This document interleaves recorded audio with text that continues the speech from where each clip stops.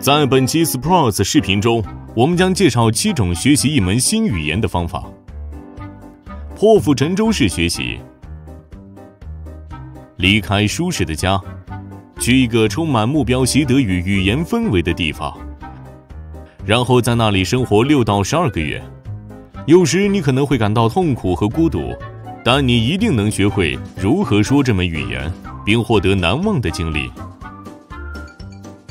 沉浸式学习，也许更简单、更有效的方法是沉浸式学习，也就是通过接触和制造语境来学习一门新语言。举个例子，如果你想学意大利语，不妨去一家披萨店，你可以试着阅读菜单，甚至可以用意大利语点菜：antipasti、pizza tono，或者有人想要 gelato 吗？注意法学习。注意法是通过建立联想，从而更轻松地学习新词汇的方法。例如，假设你想记住法语单词 “show”，它的意思是卷心菜。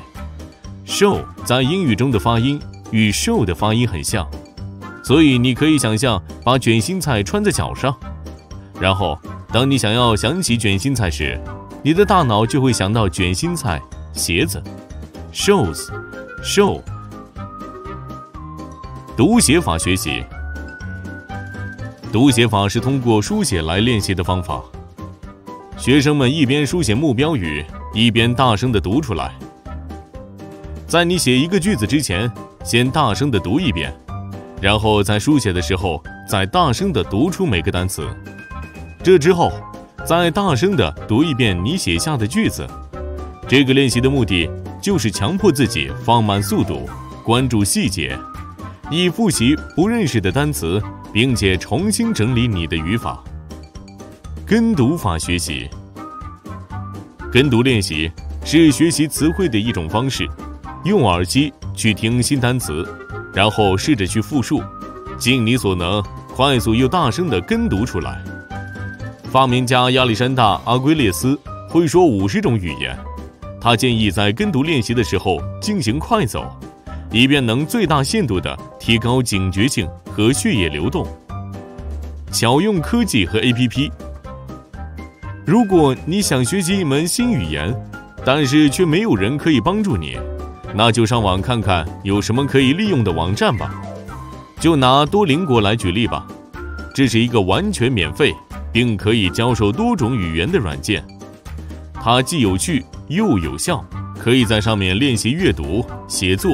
听力和口语，Quizlet 是很棒的一个学习词汇的工具。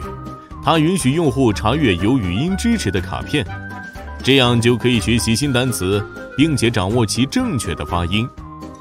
组队学习，如果你不太喜欢利用技术，而是更愿意和别人一起学习，不妨试试著名的多语高手 UP 主提摩西·杜纳所推荐的方法。即通过视频聊天软件与来自世界各地的人们进行交流，然后相互教授、相互学习，这对他来说很有用。他还不到十八岁，就已经会说二十种语言了。感谢收看，你还可以查看其他 Sprouse 视频的学习技巧视频，其中也有一些对本期视频中学习方法的补充。请在下面的评论留言给我们反馈，或者。你可以告诉我们你最喜欢哪一种方法？